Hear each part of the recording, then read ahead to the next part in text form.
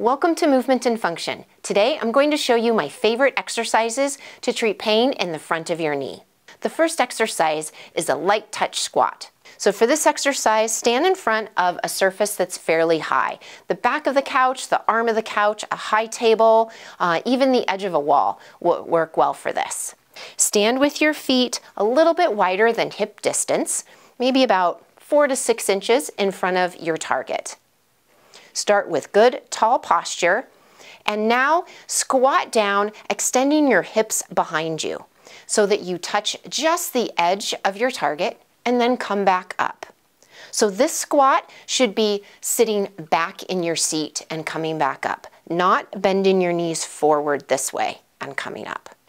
So continue reaching your hips back to where you touch the surface and then come back up. Perform 15 repetitions of this squat, bending just as far as you feel comfortable. If you have any sharp pain, then stop right away. If that feels easy for you, then gradually decrease the height of your target until you're performing a much lower squat. You can also progress this squat by leaning a little bit more onto the leg that's been affected so that you're working the muscles on that side a little bit more. That will emphasize strengthening on the side where you're having the issue. The next exercise is a hamstring curl. I'm going to demonstrate this seated using a resistance band. So make sure that you have a loop in your resistance band large enough to fit your foot through. And we'll put your foot through there and get it as close to your heel as you can. And now press your other foot down onto that band and spread your feet about hips distance apart and then pull up on the band with your hand to achieve some resistance. With the leg that has the loop wrapped around the foot, curl your leg underneath you. Pull back as far as you can, pause, and then come back up to the starting position. Curl back, pause, come up to the starting position. It may take a little bit of practice to get the loop in the right position and your anchor with the other foot in the right position. Perform 15 repetitions or as many as you feel comfortable doing to start with. After 15 repetitions, rest for a moment and perform another set. Start with two sets and build up to three sets as your strength improves. Now, if you're performing these exercises on both legs, go ahead and switch the band to the other leg and perform two to three sets of 15. The next exercise is a bridge lying on your back. Step one is to engage your lower abdominals, drawing your belly button in toward your spine and firming up those lower abdominal muscles. Next, tighten your gluteal muscles right through the buttocks. And with your arms resting by your side, lift your hips up in the air as high as you feel comfortable going, keeping your abs and your glutes firm and engaged. Pause at the top and lower.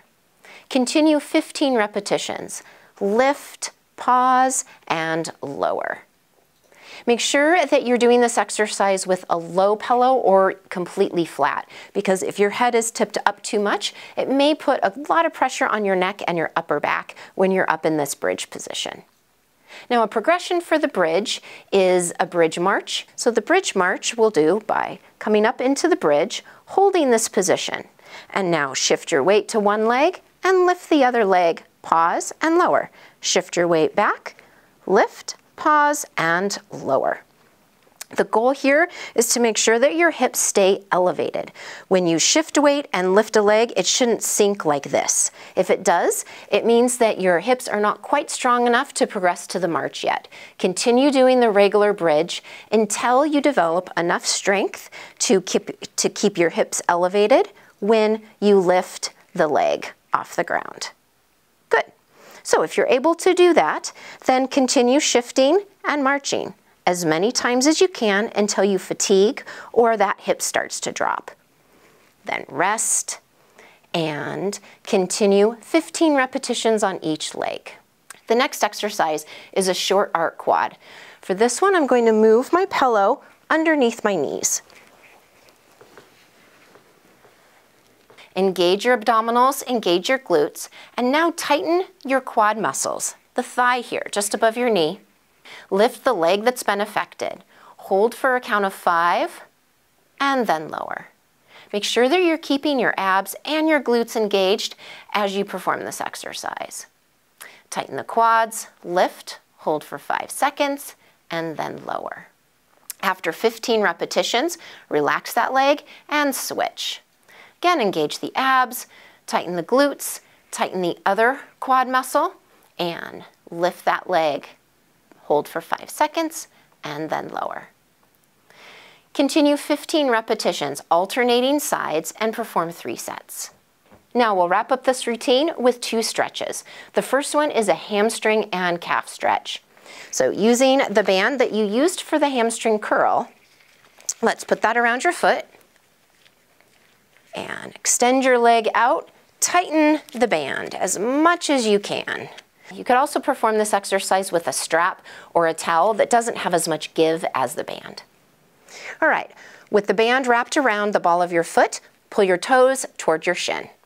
Lift your leg as high as you can so that you feel a nice stretch in the hamstring as well as in the calf. Hold for 15 to 30 seconds, the longer the better. And then relax. And lower that leg after three repetitions on one leg, then switch to the other leg. Moving on to the last stretch of the day, a quad stretch. We'll do this one lying on the side. Lying on your side with your hips stacked, one on top of the other. Bring the top knee back as far as you can and reach for that ankle.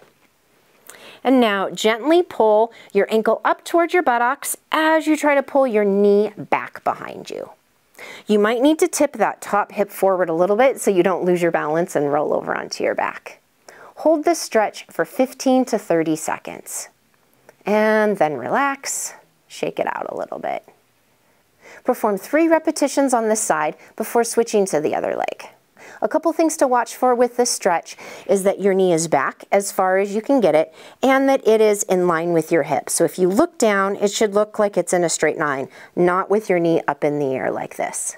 If you're having trouble reaching your ankle, you can also perform this stretch using the resistance band or the strap. So wrap the band around your foot.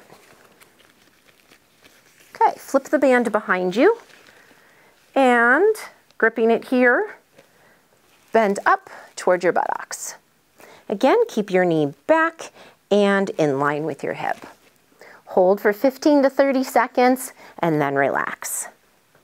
And perform that three times on the one leg before switching to the other side.